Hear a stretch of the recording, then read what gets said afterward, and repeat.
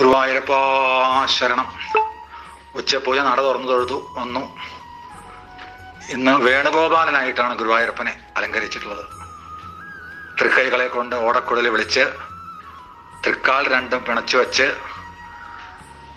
അരയിൽ കിങ്ങിണി കെട്ടി പട്ടുകോണകം കൊടുത്തിട്ടുണ്ട് പിന്നെ കയ്യിൽ തോൾവളകൾ കൈവളകൾ തൃക്കാൽ രണ്ടിലും തളകൾ കെട്ടിയിട്ടുണ്ട്.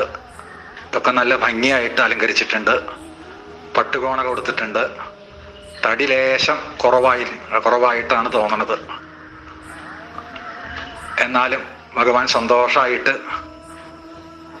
തൂമന്താസത്തോടു കൂടി ഭക്തനങ്ങളെ നോക്കി നിൽക്കുകയാണ്.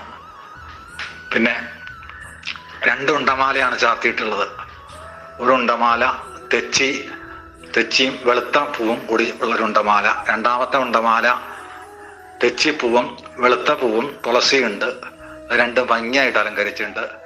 പിന്നെ മൂന്ന് തിരുമുടിമാല. അത് കിരീടത്തിന്റെ മുകളിൽ ചാർത്തിയിട്ടുണ്ട്.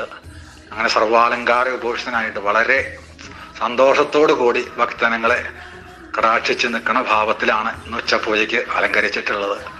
ഈ രൂപം എല്ലാവരും മനസ്സിൽ വിചാരിച്ച് ഗുരുവായൂരപ്പനെ നാമം ജപിച്ചോളും. നാരായണ നാരായണ നാരായണ നാരായണ നാരായണ